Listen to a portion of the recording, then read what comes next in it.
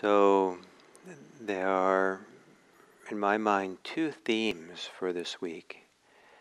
The explicit one, or the main one, is these, what's called the five Dharma Samadhis, or five qualities of Dharma Samadhi, which is eh, the word uh, samadhi here relates to the fact that this is not just an individual quality of heart and mind that arises, but they're really uh, something that uh, arises and moves through us, something that we open to and kind of fills us or becomes a little bit more the state of who we are. Because samadhi is a state of being more than it is with a, than a particular uh, laser focus of the mind. And so these five qualities can become more like the states that we abide in. And these five states are what I'm calling uh, gladness, joy, tranquility, happiness, and concentration. And that, it, um, and these begin to uh, not just these begin to kind of have a life, not exactly of their own, but a life of their own. That they begin to emerge and have a, their own kind of momentum through us to fill us and be here as meditation deepens. So the first theme is, is these fives this uh, qualities. The second is the way in which these are a natural function, natural quality, and that we have this natural flow or uh, uh, unfolding, evolving that can happen that uh, is sometimes associated with the Dharma. It's the Dharma that's moving through us. So much so that some people talk about, uh, I like to talk about, that not only do we practice meditation in the Dharma, we're also being practiced by it. At some point, something kicks in, that something is alive within us that begins unfolding and opening and maturing us. That is not exactly our doing, but which we enable, which we make room for. And it's phenomenally inspiring and faith producing to feel this Dharma flow, this Dharma stream or current beginning to awaken up inside of us. So as not to make it too um, abstract, too, I don't know what, supernatural or something. Some of this I really associate uh, with a, uh, uh, getting out of our own way. When there's a lot of stress, a lot of tension, a lot of resistance, a lot of agitation, that um, we actually interfere with the natural flow of our uh, all kinds of things, probably our hormones and our stress hormones and our muscles and our, our whole physiology and our psychology works a lot better when it's relaxed and at ease. Agitation, resistance, freezing up, all kind of gunks up the system. And part of what meditation does, it begins to let go and relax the agitation, the holding, the resistance, the bracing ourselves, and allows us to come into a kind of the natural, you know, I don't know exactly the right word, uh, natural wholeness, the natural fullness, the, the way that this uh, system of ours can operate really in a healthy way, which is, feels phenomenal, especially because many of us spend a lot of time not there because we're preoccupied and caught up and afraid and anxious and greedy and planning and in fantasy and feeling there's never enough and wanting more, so all kinds of things. And meditation allows us to let go of all these desires and all these fears and all these agitations and stresses that often preoccupy the mind and have this negative influence in our body and allows us to experience kind of what feels much more like a natural state of being, which feels so good in itself and can bring a sense of gladness and joy. So to give you kind of a maybe a little bit reductionistic idea of this, um, but I think it's uh, it's so it's such a simple thing. It's not like a complicated thing, and and that is, for example, if you take uh, and hold something really tight for a really long time, so your, your hand clenches around the object and gets really, really tired and sore from holding it. When you finally release the hand, uh, it fe- certainly feels good to have the release. To s- but some not only does it feel good, the relief of it, but also there can feel now there's a wonderful flow of blood, of energy, of tingling and warmth that just feels delightful. To it's been freed up, and there's something else is moving, and it just feels so good and delightful. There's a joy, there's a gladness that's there in the hand. Or if we spend a lot of time maybe going for a long hike in the mountains and we're really tired, and finally we stop walking and sit down, the body can have a certain relief from no longer working. The muscles can begin to relax. And as the muscles relax, sometimes it, they just feel so happy and delighted to just be kind of finally not working so much. There is, so there is a kind of a natural feeling of delight, joy, gladness that comes when the chronic tensions we have begin to settle away and quiet down. And it releases, just like the hand gets, certain kind of energy and the hand gets released when we open up.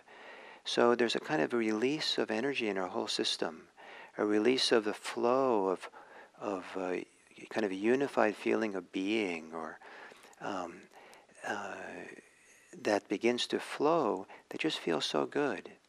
And some of this being engaged in this process of deepening and relaxing and opening to this capacity for natural wholeness that we have can feel so good, can be inspiring.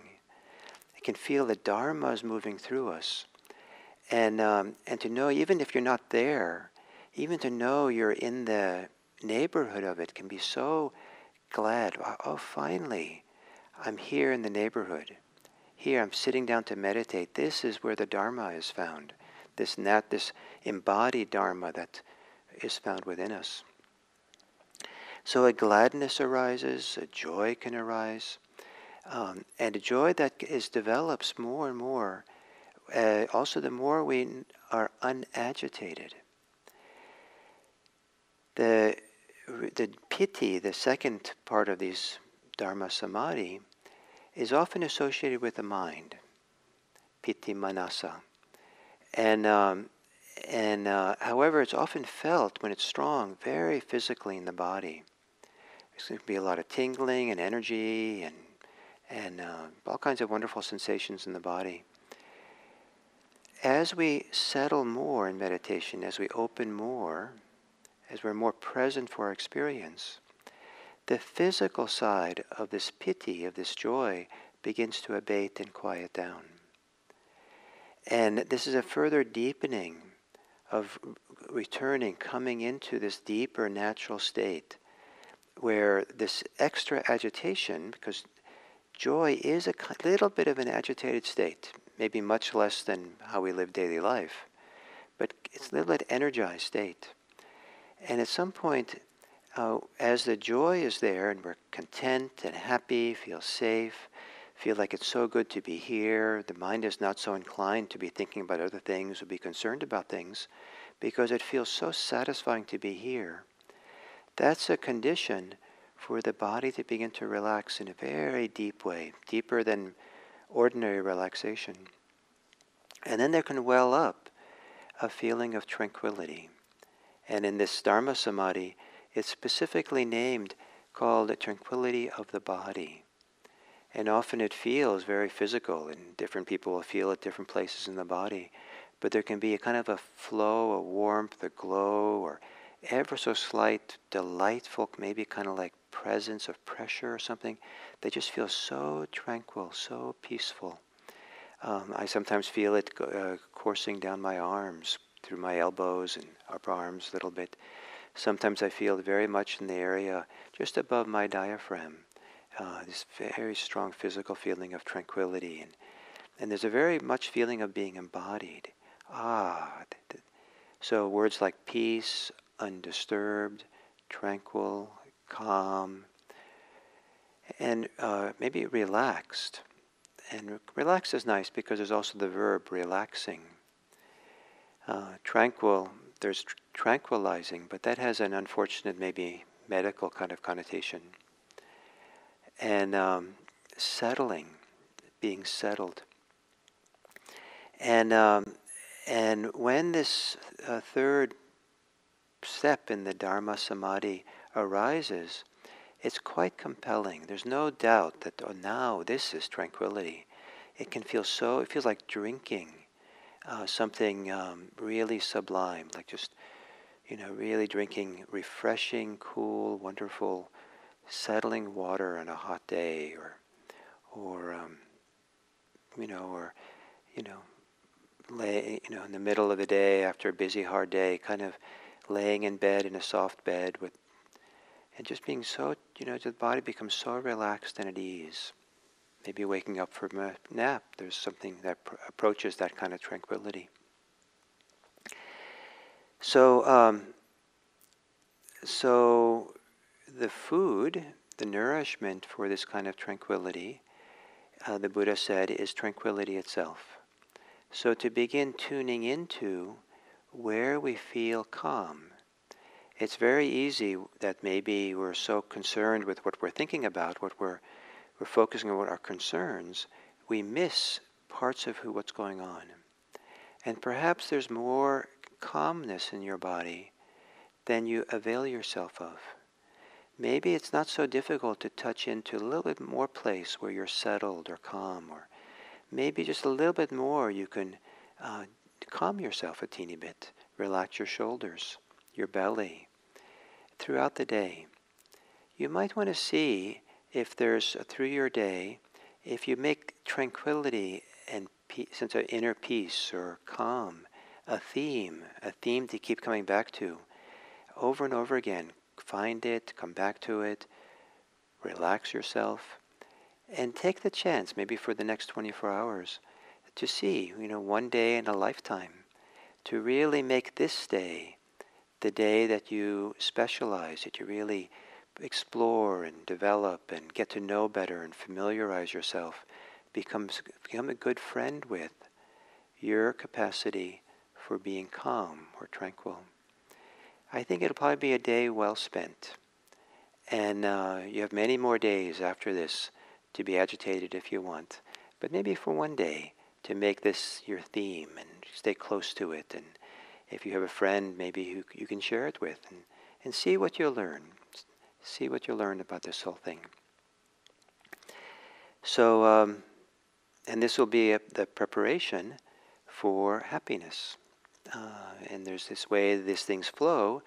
Um, gladness flows to joy, joy flows to tranquility, tranquility flows to something called happiness, and happiness flows to concentration. And um, I look forward to being with you again tomorrow. Thank you.